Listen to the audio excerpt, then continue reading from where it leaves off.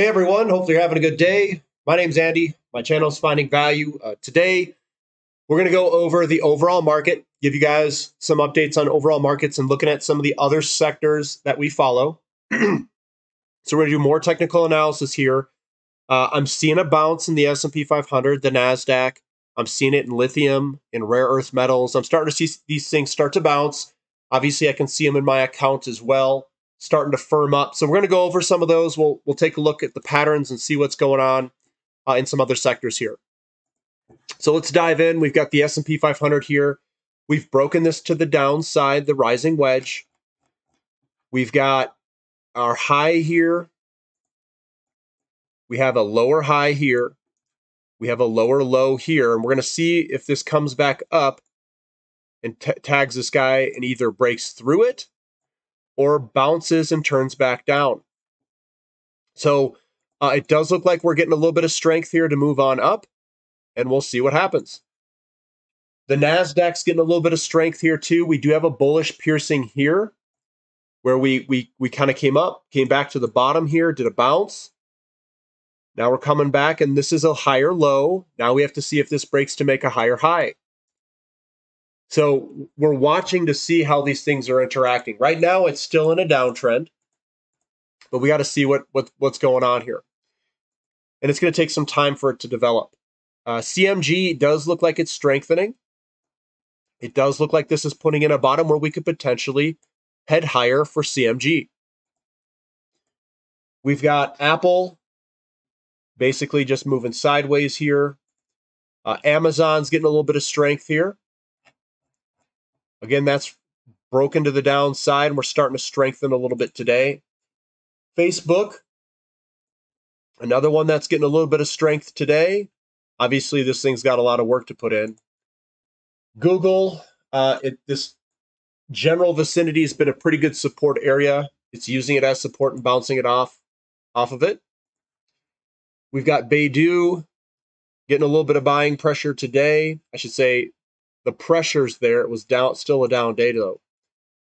Visa moving sideways. We've got MasterCard getting all over the place, getting jiggy with it. Uh, the trade desk moving up quite a bit today. Again, we're still in this downtrend downtrend area. We'll see if it breaks. Roku also uh, getting a little bit of buying pressure. This guy looks a little bit interesting in this megaphone pattern. And if you're looking at the Heikin Ashi, uh, it is still coming down. And maybe it'll tap this bottom here. Maybe. Going back to the regular candlesticks. Looking at some of the other stuff like uh, lithium. this is lithium, the actual futures price. Uh, this thing's been quite resilient, resilient, just moving higher. Uh, the rare earth metals looks like it's getting a bid today. This guy is correlated to the overall market sometimes, uh, and sometimes it's on steroids, but sometimes it trades like it, sometimes it doesn't. But this looks good on a long term perspective. Uh, lithium also is firming up, putting in a bullish engulfing here. Lithium could be one that you might want to look into for potential purchases. That is an area that I would be looking at uh, for buys at this moment if you're interested in the in that area. Uh, looking at wow, Alphamin really took off today, twenty percent. Go Alphamin, because uh, I own some of that. That's a tin tin company. I didn't even I wasn't even didn't even see it. It's in one of my accounts that I don't normally look at either. Uh, my my position is going on down. just kind of I'm just looking around. We've got uh, home builders. Home builders looks like they're strengthening with the market as well. So I do have uh, an entire thing on home builders for uh, the website, and looks like they're all strengthening up. I'm just kind of clicking through it, seeing how they're doing. Uh, lumber looks like it's strengthening up as well. I've got my awesome little uh, chart here that I drew but uh, this is this is lumber here, uh, moving sideways there. We've got uh, not much to go over there. Looking at the agricultural space, this thing is rocketing higher, still doing very well for VanEck Agribusiness ETF Moo. Got to get your Moo on. We've got uh, aluminum. Yeah, aluminum's getting a little bit of selling pressure still. Uh, this is your pullback here in aluminum, these consolidation periods. Uh, and I do think that we're going way higher on aluminum and all these other ones. Now, uh, more information. Uh, the U.S. housing starts did go up today. It's at 1.793 million. Uh, so if we if we go to Fred housing starts and look at the Fred housing starts, I just went to Google 1.793. It did increase. Let's look at the one year. It, it was a small increase over last month. Last month was 1.788 million, and this month is 1.793 million. Uh, so we are above the average, and we are still building more new homes uh, for how, for total housing unit starts. Uh, and then looking at the housing permits,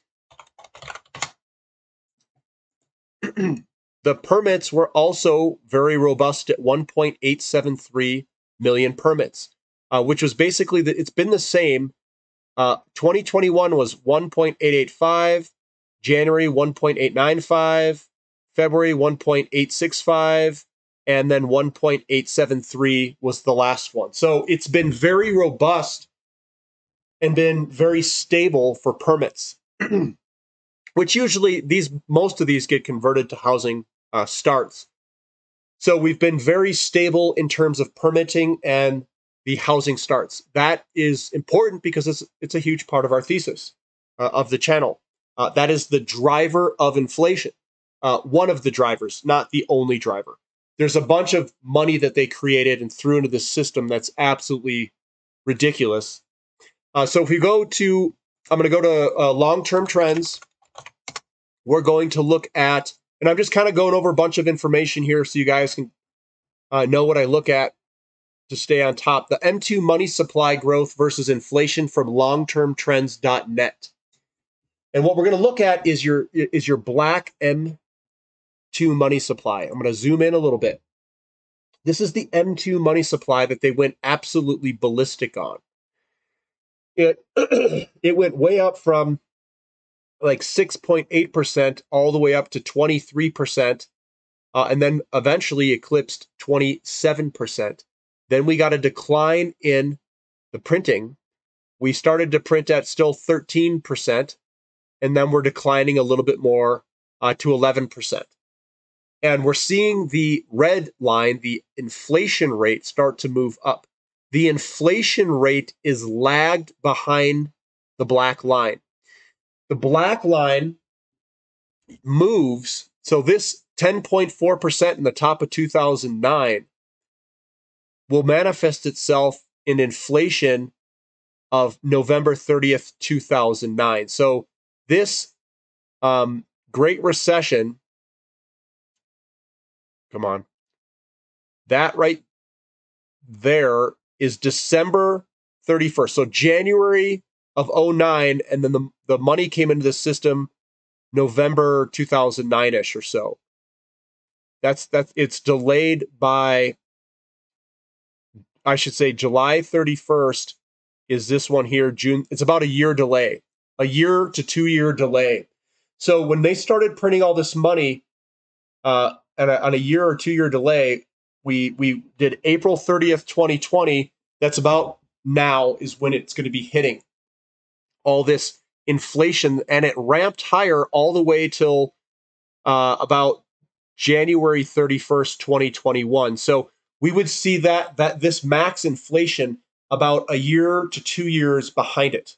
and then you're going to see the inflation rate uh, potentially decline a little bit, uh, depending on a multiple of things.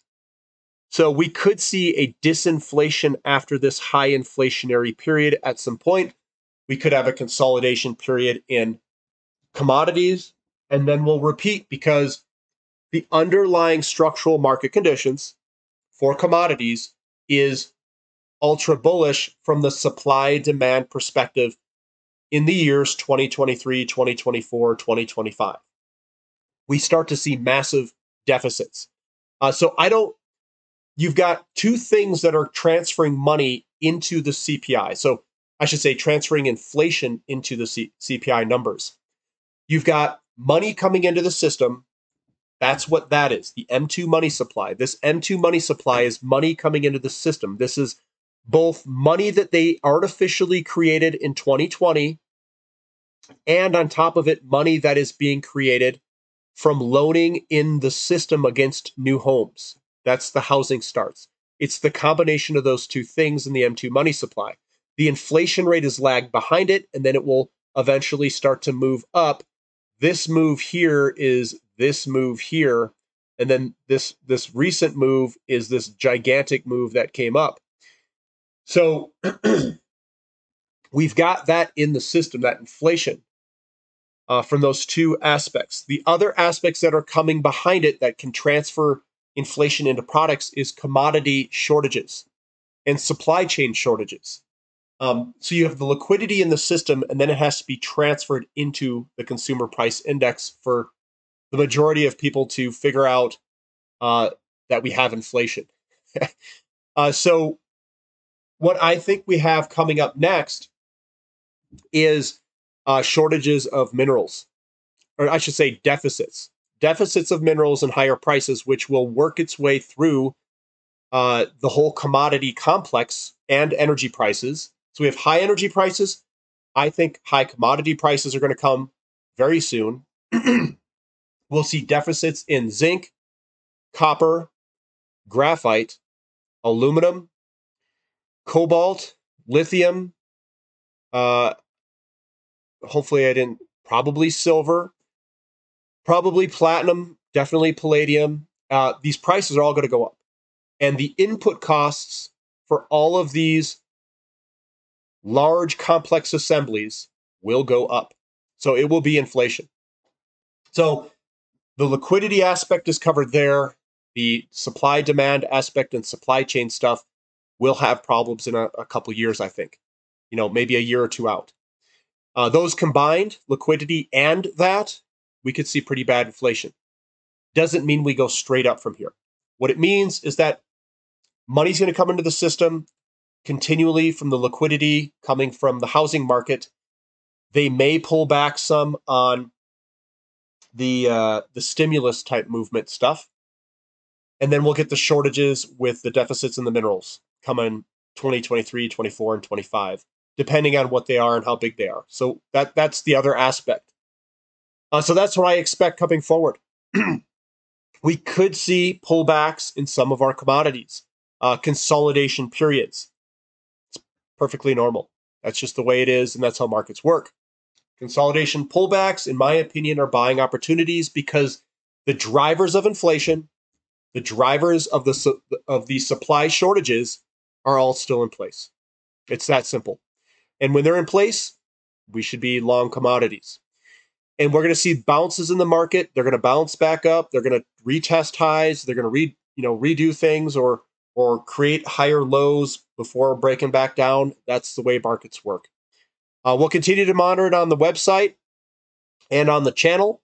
Uh, so we'll continue to do that, and you guys can definitely capture all this by giving me a thumb up and subscribing to the channel to watch all of it uh, and and stay up on uh, all the recent news and, and data. All right, guys. We'll uh, we'll see you next time. This is finding value.